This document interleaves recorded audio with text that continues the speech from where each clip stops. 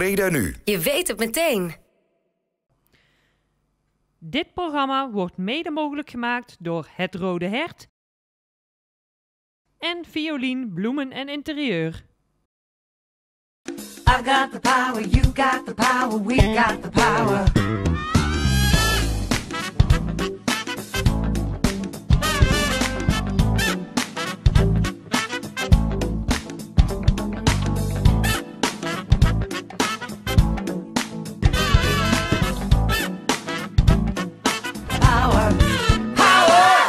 Vanuit café Het Rode Hert in Prinsenhagen, welkom bij Yes.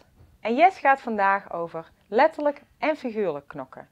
Over saamhorigheid, over doorzetten, over er zijn voor elkaar. Dat vond ik wel een mooie uitzending zo voor de feestdagen. En wie had gedacht dat ik het daarover zou hebben met twee vechters? Want naast mij, Ahmed, Ahmed, Ahmed Hasman, ja, ehm, 18 jaar oud. 18 jaar oud, kickbokser, thai-bokser, wereldkampioen kickboksen zelfs. Ja.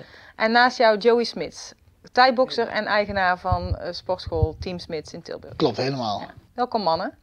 Welkom. Ehm, ja, om maar te be- beginnen met jou, Joe. Het is, het is wel een hele mooie gedachte zo wat je doet. Saamhorigheid creëren eigenlijk via het kick- en thai-boksen. Ja, ja in- inderdaad, eigenlijk wel, ja. Ja, hoe doe je dat?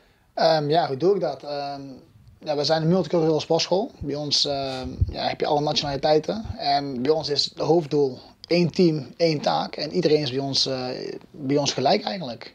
Eén team, één taak. En daar train jij dus ook aan met mee. Ja, die train ik al eh 14 jaar. Het is al 14 jaar bij mij. Is als eh vierjarig mannetje maar binnengekomen. En nooit meer weggegaan. Nee. Nee. Nee. Ahmed, zometeen kom ik ook nog eventjes op jou terug. Ook op het trainen en ook die saamhorigheid wat je creëert.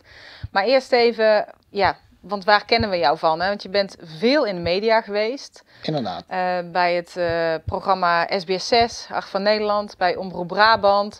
Het allerbelangrijkste natuurlijk is dat hij bij mij op vrijdagavond in de IS Radio Show is geweest, toch? Precies. En eh, nou lach ik ermee, maar het is eigenlijk helemaal geen leuk iets hè, waarmee jij in de media Nee, geweest, eigenlijk toch? niet. Nee, nee. Nee, want jij hebt een sportschool, dus waarin jij kick- en thai-boxlessen geeft. Je hebt een pand van 1000 vierkante meter, 300 leden. En hij heeft de gemeente heeft gezegd, Joey, je moet er vanaf, eigenlijk vanaf 1 november, moest je al uit het pand. Ja. Wegens bestemmingsplan. Ehm, en dan- geef je, en die zegt van, nou, ik wil met jou eh, naar andere panden kijken, Joey. Maar je blijft wel zelf verantwoordelijk voor het zoeken naar een ander pand. Vervolgens zeg jij op jouw beurt, ja, we hebben mondelinge afspraken gemaakt met de gemeente. Die zijn ze niet nagekomen, maar helaas heb ik niks op papier staan.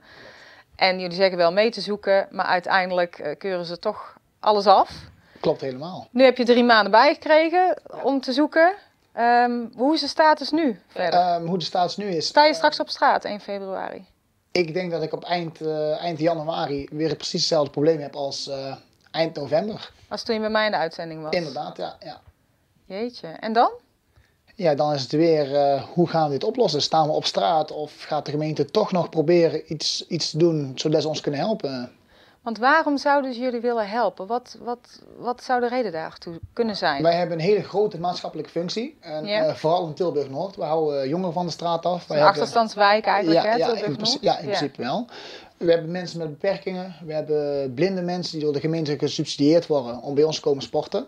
Dus ja, onze maatschappelijke functie is gewoon zo groot ehm, dat ze eigenlijk ons een, een, een helpend hand ehm, moeten bieden. Mhm. We werken samen met buurtsport. Ik heb, ehm, afgelopen week heb ik gesprek gehad met buurtsport. Ik ga daar de komende weken ga ik, eh, lessen verzorgen. En wat is buursport dan? Jo? Buurtsport is een initiatief van, ehm, van de gemeente. Ehm, kinderen van de straat houden, na school eh, sportactiviteiten aanbieden, verschillende soorten sportactiviteiten, zodat die kinderen van de straat zijn. Dus eigenlijk in principe hetzelfde wat wij bij ons in de sportschool doen. We houden ook kinderen van de straat af die het niet kunnen betalen. Mhm. Maar blijven ze op straat, dan gaan ze straks criminaliteit in. En dat willen wij voorkomen. Dus wij hebben zoiets van, hey, kom bij ons sporten. Bij ons krijgen ze nog discipline, respect, et cetera, krijgen ze nog erbij. Dus ze krijgen eigenlijk een heropscholing of een her- heropvoeding. Dus het is niet alleen maar trainen, je, je brengt ze ook meer normen en waarden bij en je houdt ze dus echt letterlijk van de straat. Inderdaad. Ja. En heeft de Telegraaf jou ook benaderd? Waarom is dat? En de Telegraaf heeft mij benaderd eh, na het voorval eh, bij ons in het zwembad Stappengoor. Daar is een, eh, met het Overal in het Halloweenfeest. nieuws geweest en zo. Precies, ja. Daar is eh, tijdens een Halloweenfeest is daar eh, gruwelijk uit de hand gelopen. Er is geweld aanranding. aanranding. Ja.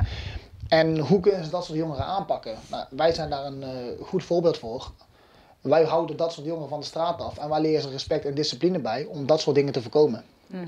Dus de maatschappelijke functie ko- komt, ja, heeft daar weer een rol bij. Misschien is het handig als we even kijken naar hoe het er bij jou uitziet. Hoe Ja, jij precies, traint. eh, want het gaat er flink aan toe. Het gaat er flink Van aan jong toe, ja. tot oud. Klopt. En daar hebben we beelden van. Zoals jullie zien is de seniorentraining al bezig. Ik heb hier een aantal eh, kinderen staan, wedstrijdvechters. En eh, ja, die zijn bijna elke dag hier, jongens.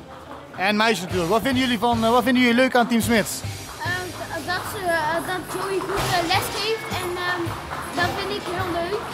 En, ehm, Ja, ja, je en maar dan, praten, eh, man. eh, kan ik heel, heel veel energie kwijt. Ja, oké, top man.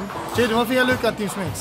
Ik vind het eh, goed hoe eh, Joey les geeft en ik vind het ook echt leuk. Met looptrainingen gaan we ook soms stickertje doen en dat vind ik leuk. En vind je dat leuk, hè? Hier natuurlijk toptalent. Ahmed Tornado Hasman. Ahmed, wat ga je doen vandaag, jongen? Ga je krachttraining doen? Oké, beter man. Waarom ga je krachttraining doen? Belangrijk tijdens de wedstrijd, hè? Juist. Voor de keel gaan. Snap je. En jullie hebben Ahmed eh, al een keertje ontmoet op de radio bij, eh, bij Yes. Nu zie je hem op beeld. Jimmy, wat ga je vandaag doen? Jimmy staat vandaag in eh Nieuweling, vier dames toernooi. Dus moet twee harde wedstrijden vechten om de titel mee te nemen. Dus eh, we gaan zeker slopen.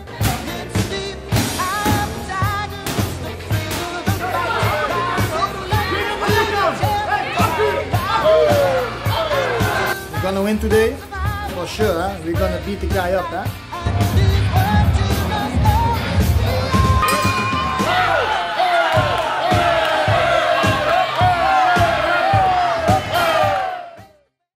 Nou Joey, dit tikkertje klinkt heel erg leuk.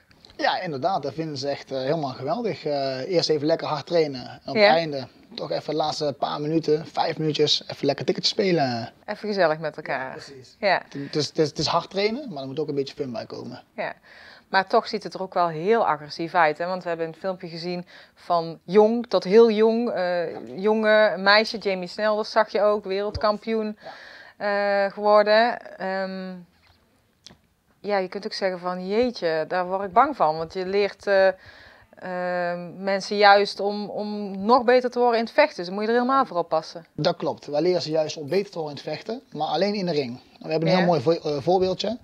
Eh, laatst heeft een jongen van mij tegen een jongen uit Breda gevochten. In de ring was het echt oorlog. Dat zagen we net ook even in het filmpje. Inderdaad, ja, Arie. Maar na de, na de wedstrijd eh, ja, was het eigenlijk gewoon een broederschap. Ze zijn eh, naar de kleedkamer gegaan, hebben samen over de wedstrijd gepraat, hebben een mooie foto gemaakt, arm om arm. En ja, zo hoort het eigenlijk. in de ring oorlog en buiten de ring is gewoon vriendschap en respect voor elkaar. Ja? En Ahmed, we zagen jou ook even in het filmpje. Klopt. Jij was eh, bij Yes Radio, was je ook met Joey eh, samengekomen. Dus daar kennen we jou wel inderdaad van. Hmm. Want jullie kijken natuurlijk allemaal naar Yes Radio. Ehm, hoe is het het trainen bij Joey voor jou? Heel fijn. Ja, wat Ja. vind je er zo fijn aan? Hij geeft goed les. Hij is goed met de kinderen en met ons. Dus ja, ik ben wel tevreden. Ja, oké. En, en, maar wat doet het voor jou? Is het, is het dan toch ook zo, want er zijn heel veel stigma's op het kick- en thai-boksen. Mhm. Een verhaal zoals Badr Hari doet er natuurlijk geen goed aan, hè? dat hij zijn Nee, ex-vriendin eh, in elkaar slaat en, en daarvoor veroordeeld wordt.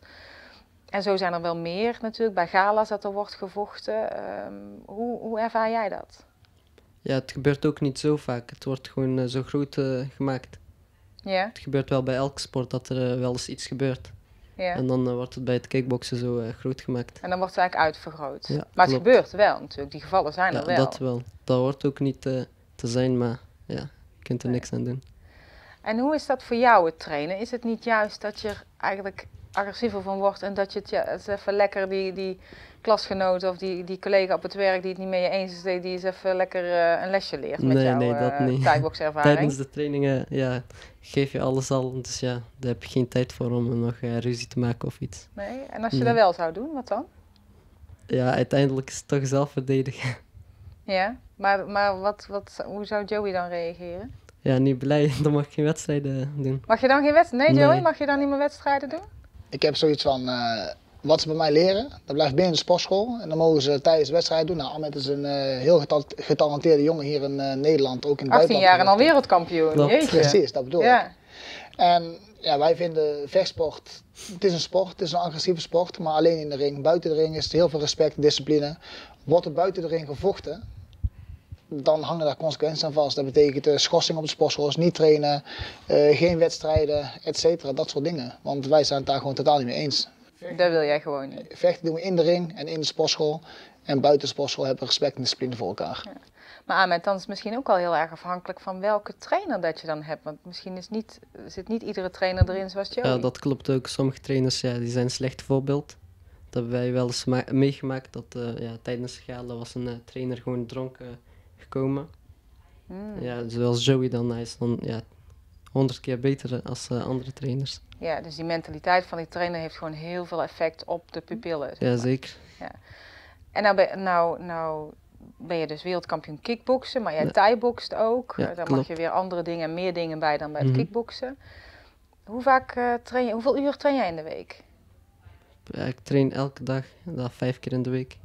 Vijf keer in de week. En daarnaast heb jij nog gewoon een baan. Ja, klopt. Dus je hebt ook helemaal geen tijd om. eh, Om rond Voor te zorgen. Nee, nee. zeker niet. Moet ik het dan gewoon zo zien dat je werkt, je traint, je werkt, je traint Ja. en dan af en toe iets eh, nog voor de gezelligheid en dat was het dan? Ja, soms eh? een bioscoopje of iets. Ja, toch wel. Dat is ook wel belangrijk, toch? Tuurlijk. Ja. Ja. En wat als jij nou niet zou eh, sporten, kick of thai-boksen? Want we hadden het net al over, wou, eh, Joey zegt, we houden de jongeren van de straat. Is dat voor jou ook zo? Of zou je dan zeggen, nou, dan zou ik wel heel makkelijk weer een ander doel vinden waar ik me zou kunnen verbinden? Bij mij niet, niet echt. Ik zou Nee? dan op straat hangen. Ja, wat zou er Ja. dan gebeuren? Wat, wat worst case scenario, hoe zou dat dan gaan? Nou, ik denk wel dat het slecht zou aflopen. Ja? Zoals, eh, ja, ik woon in Tilburg-Noord en ja, daar is het ja, best wel eh, slecht. En gaan de mensen echt, eh, best wel naar de criminaliteit toe. Ja, ja, en dat zou dus ook wel een risico Ja. kunnen zijn als je, dit, als je dit gezamenlijke doel eigenlijk niet had. Ja. Klopt. En daarnaast help jij ook nog zelfs met, met kinderen met een stukje hulp met huiswerk, hè, als ze daar niet uitkomen. Inderdaad, ja, dat doen we op sportschool ook. Ja. Eh, Ahmed is daar ook een eh, voorbeeldje van. Ja? Sommige dingen snap ik niet, snapt hij wel. En die kinderen weten Ja. gewoon van, hé, hey, we snappen iets niet. En sommige ouders snappen het ook niet. Dan komen ze naar ons toe. Dan kunnen wij helpen. Dan helpen wij natuurlijk altijd. En wat ik dan ook het mooie vind aan jullie verhalen, is dat het voor mij toch eigenlijk ook wel een verhaal is van verbroedering. Van ehm, ondanks welke afkomst, ras of kleur dat je ook hebt, want we hebben ook in die filmpjes gezien van allerlei afkomsten en achtergrond traint er bij jullie. Mhm. Het lijkt voor jullie niet uit te maken. Het is overal hot item, maar hoe is dat voor jou, Joey? Ja, bij ons is gewoon iedereen is gelijk. Het maakt Ja. niet uit wel, welke afkomst je hebt. Of je groot bent, klein bent, dik bent, dun bent. Bij ons is iedereen gelijk. Wij Heel blank, zwart. maakt helemaal niks uit. Nee, wij zijn één team, één taak. En eh, bij ons gelden gewoon regels. En die regels gelden voor iedereen. En we moeten, we moeten samen trainen. Niet tegen elkaar, maar met elkaar. We moeten met elkaar beter worden. Ja, en één team, één taak, dat maakt dan eigenlijk ook niet uit of je nou aan kickboksen doet, thai-boksen, of je in de politiek zit, of je op de zwemclub zit. Het gaat gewoon om de boodschap die je daarmee brengt. eigenlijk zou het overal zo moeten zijn, ja. Ja, je bent gelijk en daarin steun je elkaar. Precies, we zijn allemaal gelijk. En we zijn allemaal op de wereld om elkaar te helpen en om elkaar beter te maken. Ja. Maar daarvoor moet je wel een pand hebben. Inderdaad, dat is een hele goeie. Inderdaad. En daar kun je, kun je wel wel heel bij gebruiken, toch? Heel graag. Ja. Ja. Dus als mensen nog tips hebben, kunnen ze dan met jou contact ja, ze opnemen? kunnen met mij eh, contact opnemen. En dat kan eh, via social media op onze Facebookpagina. Eh Sportschool Team Smits. Of mijn persoonlijke pagina, Joey Smits. Heb je een tip? Eh, kan je ons helpen? Ja, neem contact met ons op. En eh, wie weet heb jij de gouden tip. En kunnen wij straks in januari, februari verder met onze sportschool. Eén team, één taak. Lijkt me een mooie afsluiting voor de feestdagen. En daarom heb ik ook een bloemetje voor jullie meegebracht. Nou, dankjewel. Alsjeblieft, mannen. Kijk, dankjewel. Die komt op de sportschool eh op de baan te staan. Oh, leuk. Mooi aandenken. Zeker. Ja. Dankjewel. Over twee weken zijn we weer bij je terug met een nieuwe Yes Talk Show. En in de tussentijd kun je Yes lezen via mijn columns en artikelen voor Weekrand het Kanton. En natuurlijk luisteren via Yes Radio op vrijdagavond. En heb je nou tips kanjers van onze maatschappij die goede dingen doen of een mooi verhaal hebben, neem dan contact met me op via mijn Facebookpagina. En wie weet hoor je jouw held of heldin binnenkort wel. Of zie je die wel bij Yes. Ik wens je fijne feestdagen en tot de volgende Yes. Every single day, you just got say, I got the power, you got the power, we got the. Power!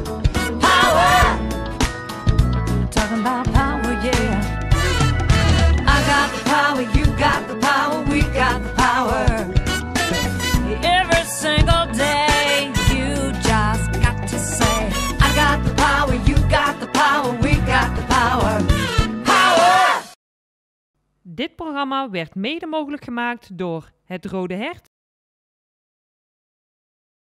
en Violien, Bloemen en Interieur.